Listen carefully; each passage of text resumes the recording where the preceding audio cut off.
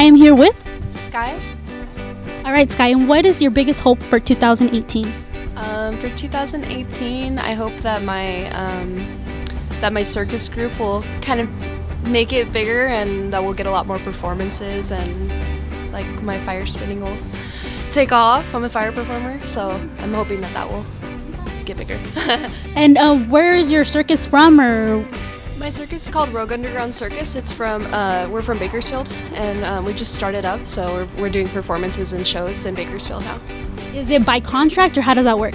Um, basically, uh, we just it's not by contract. It's just like we just do gigs. So yeah, mm well, yeah, we perform anywhere. So we do lots of gigs, and we're, we're hoping to get more gigs and shows this year. We just started up at the end of this year, so this next coming year, hopefully, it'll be super awesome.